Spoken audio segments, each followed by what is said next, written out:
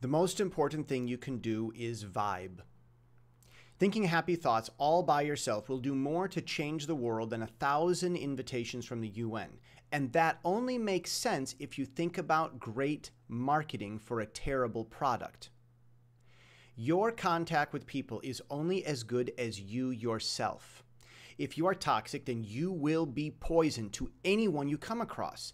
But the smell of something sweet can carry through a breeze for miles.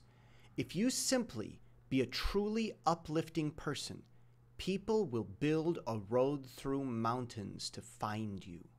And that is the point. I'm Jesse Steele, jessesteele.com.